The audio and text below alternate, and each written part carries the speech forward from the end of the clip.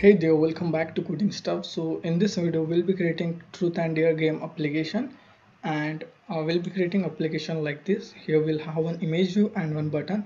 So if I click on this spin bottle button, image will spin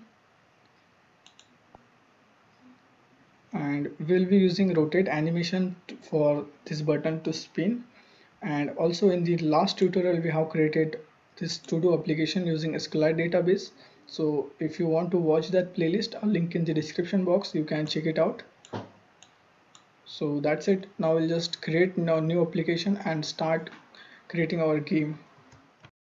So i have created one empty project here. First i will just copy one image.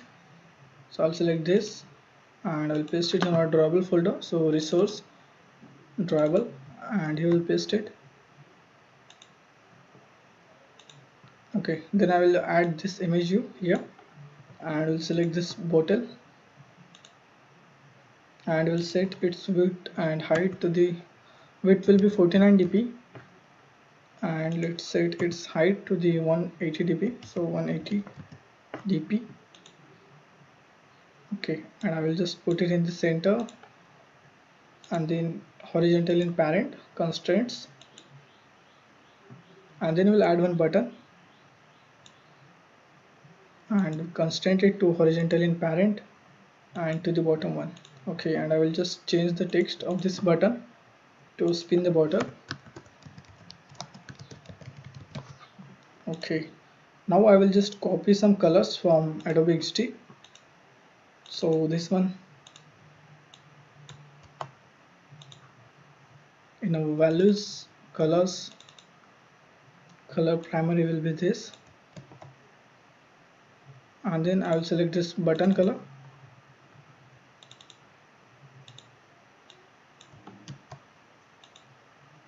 And I will paste it in color primary dark. Cool. So now we'll set background for layout. So background and this will be color primary. And for this button we'll create one shape. So click on drawable new drawable resource file we'll name it as button shape. And we'll change the selector to this shape. And we'll add some corners. So corners will be radius of let's say 20 dp and then we'll add solid color. So that will be color primary dark. That's it now we'll just set background of our button shape over here. So background and button shape. Okay and we'll change the width to let's say 183 dp and height to the 49 dp or let's say 40 dp cool. Okay and now we'll change the text color to the white one. So text color we'll select white so hash fff and let's increase it to 193 uh, let's just uh, text all caps will set to the false. Okay. So looks cool. Now we'll uh, go to styles and we'll change this dark action bar to no action bar. Cool and let's initialize our widgets in our main activity. So private image view we'll name it as m image view. And then we'll create one random number. So private random m random number and equals to new random. Okay. And also we have to create one int variable so private int last direction we'll name it cool. So over here we'll just uh, collect the id of m image view so m image view equals to find view by id r dot id dot image view. And then we'll create button. So final button we'll name it as m button equals to find view by id r dot id dot button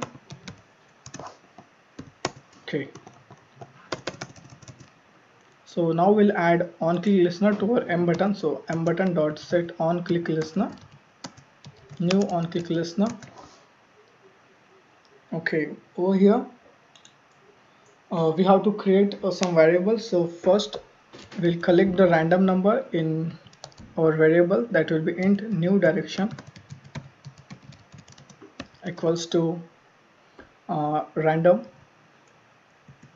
sorry m random number. Dot next int.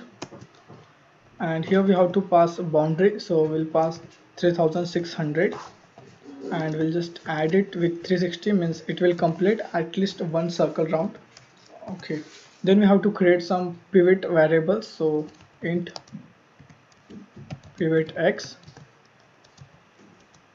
Uh, this will be let me explain you what is pivot. Okay so you can see this button uh, sorry bottle. And if I want to rotate it from this uh, point so this will be pivot of this bottle. And if I want to rotate it from the center so this will be the pivot. So we want to rotate this bottle from the center so we'll set the pivot as a center. So pivot from x-axis will be m image view dot get width and divided by 2 that's it uh, sorry we should make it in the float. So we'll write float and we have to typecast it. Float okay. Then we'll create float pivot y typecasting float then m image view dot get height divide by 2 that's it we'll create one animation. So animation we'll name it as rotate equals to new rotate animation. And in this rotate animation we have to pass four parameters. So first will be the starting position. So we'll pass a last direction and then the new directions means the end point of our rotation. And then we have to pass pivot x and pivot y. And then we have to set some properties to our rotate. So set duration and we'll pass it pass here 2 seconds so 2000 milliseconds and then rotate dot set fill after and here will pass true and then uh, we'll just set the rotation to our image view so m image view dot start animation and here will pass rotate. So that's it. Now we'll check our app is working or not. So I'll click on this run button. So so now if I click on the spin bottle you can see the bottle is spinning. Uh, but now uh, just notice one thing. Uh, this bottle is uh, bottle's endpoint is this but if I click on this spin bottle it will start from the uh, starting point. You can see it again. So we have to fix that issue. Just one line of code. We what can we do? We just after this uh, set after filter we'll set our last direction as a new direction. So last direction equals to new direction. Means so endpoint is the first direction. So it will start the animation from the that endpoint okay? And also we have to uh, let me let me show you how it looks now.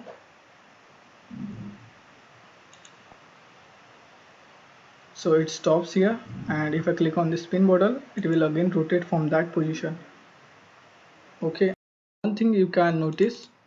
Uh, this button is in animation mode but still I can click on this spin bottle button.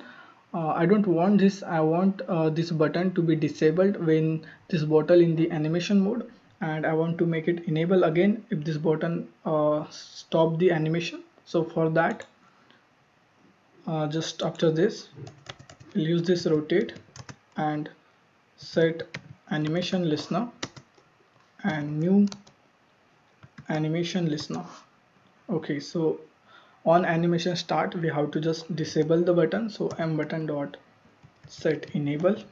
This will be false.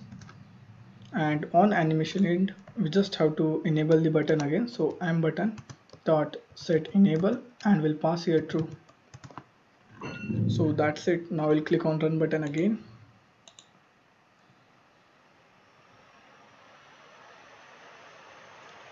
so now you can see if I if I'm clicking on this button it's not working because it is disabled.